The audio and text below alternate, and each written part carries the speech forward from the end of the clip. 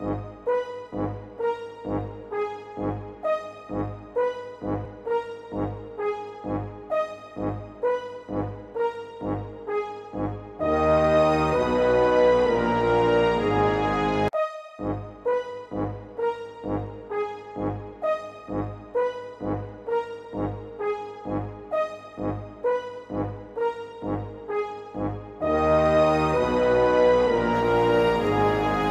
there guys, I'm back again. Yeah, been a while, again. Oh well, you get that.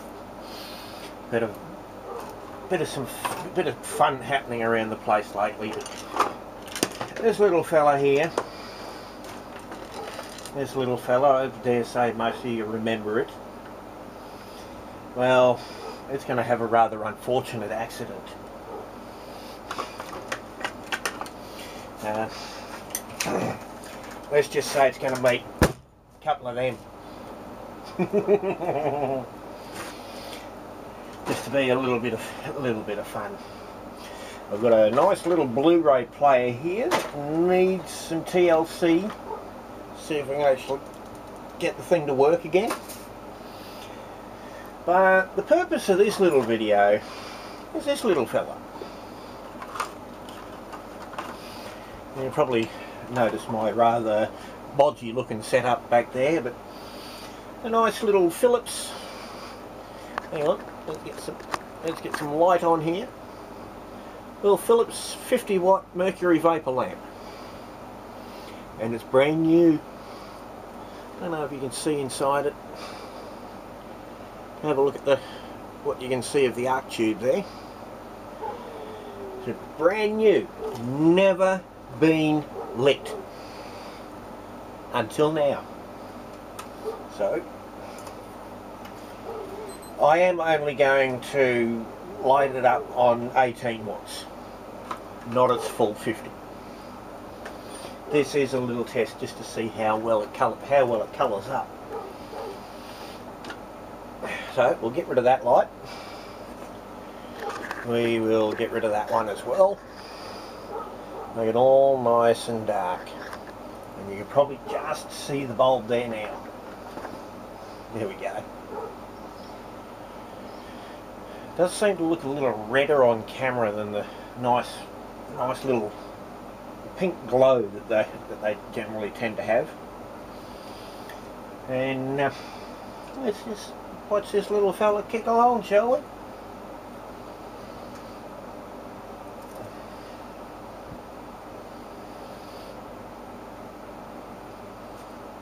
It's definitely not going to get up to full brightness, that's for sure.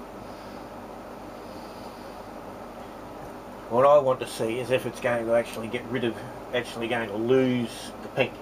It'll actually see if it'll actually get to its to its normal uh, bluish white.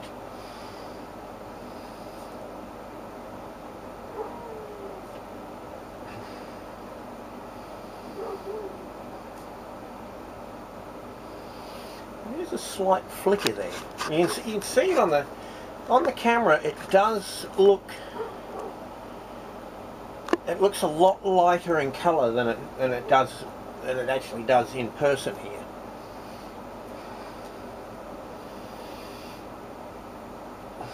But I just want to see just how bright this thing will actually get. Not that I'm expecting much.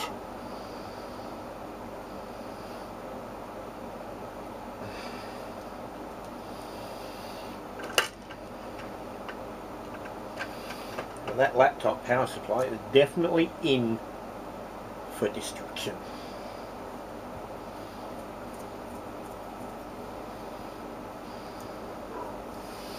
As you can see by the lamp there, it's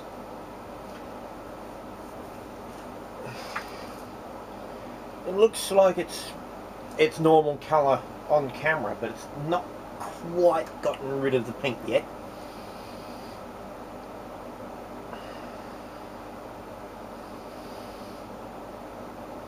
Course I have my little smiley over the corner, it's still ticking away.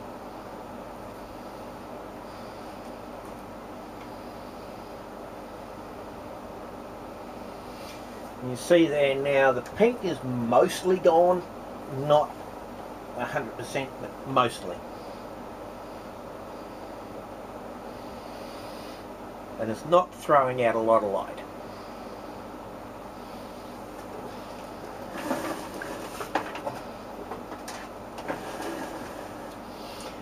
But that poor lamp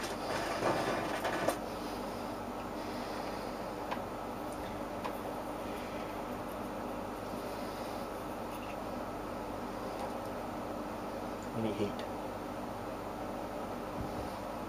Not that hot at all. That poor lamp might end up meeting this one. It is very, very... Actually, the arc tube in this looks quite good. But, the phosphor coating, yeah, it's gone. Now that we have that one. And look at that, 18, 18 watts through it. It's been running for a few minutes and is not too hot to handle. Now let me see if that one is going to fire again. Ever.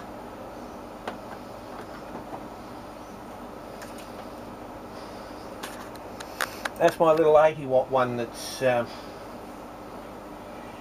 yeah, it's had a bit of a hard life, this 80 watt, 80 watt mercury lamp, but it's still going.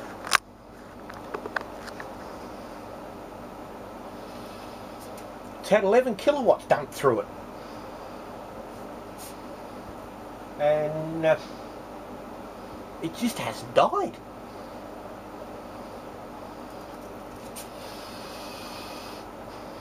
I think what I may end up doing with it is uh, breaking it open and taking the arc tube out of it. Doing a little bit of torture that way.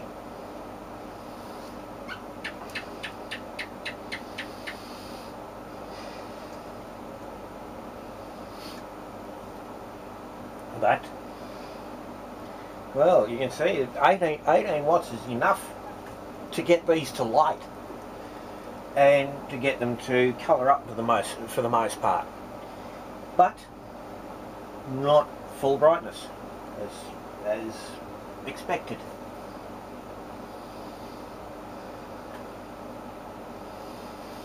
Now, another little project that I've got in the wings is a ballast box. That'll run anything from 18 watts right the way up to 400. And if I want to go any, any more than that, I just use my 400 watt ballast I've got kicking around. There's one down there. There's a couple up the back here.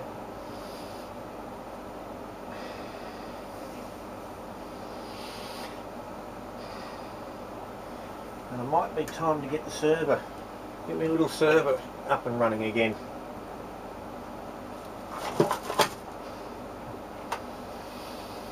And yes, I do actually have a small collection of light bulbs.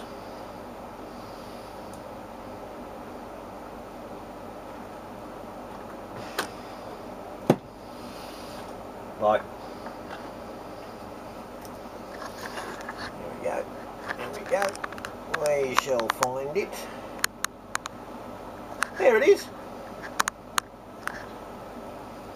Little 25 watt microwave oven bulb. And my camera just does not want to stay where it is, where it's supposed to be. Anyhow guys, all I all I must say is don't try this at home. Leave it to people that are well trained in handling lamps of that lamps of that type and the equipment to run them. Above all else guys, play safe and see you next time.